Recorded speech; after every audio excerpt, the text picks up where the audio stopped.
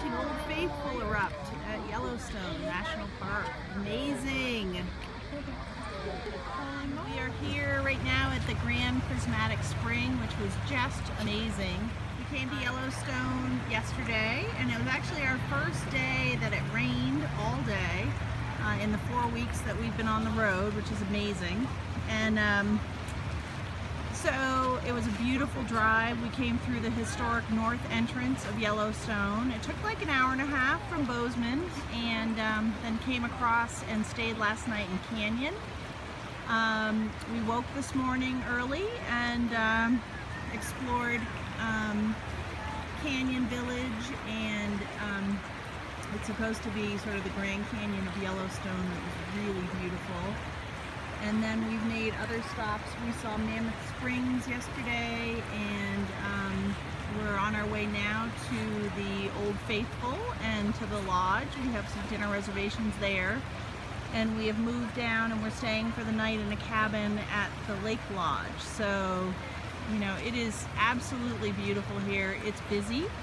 Um, I can imagine um, coming at a different time of the year might um, not be as beautiful, although different, uh, but um, maybe a little bit better if crowds aren't your thing. Uh, so some of these more popular places like this spring here, you can kind of see the walkway. Um, I'll also show you, can get up here and show you, you can see the it's up there, right at the top, and it is amazing the colors that it creates um, from the thermal uh, water. And then under the bridge, actually, you can see over there as it runs into the stream. So it, it's such a gorgeous place here. It's just unbelievable, the views and the sky, I think, makes it. We've seen bison, we've seen elk, we have not seen bear, although unfortunately they did have a um, bear attack yesterday, uh, about a mile from where we're staying tonight. Um, so that was pretty unfortunate, obviously. And um, the kids are having a great time. Everything is accessible.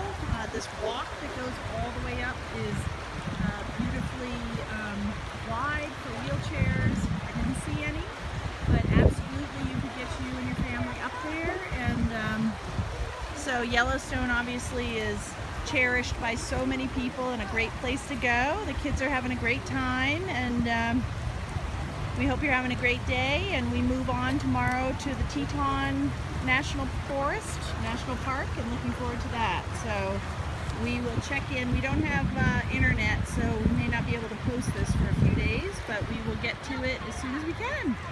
So have a great day and uh, goodbye from Yellowstone.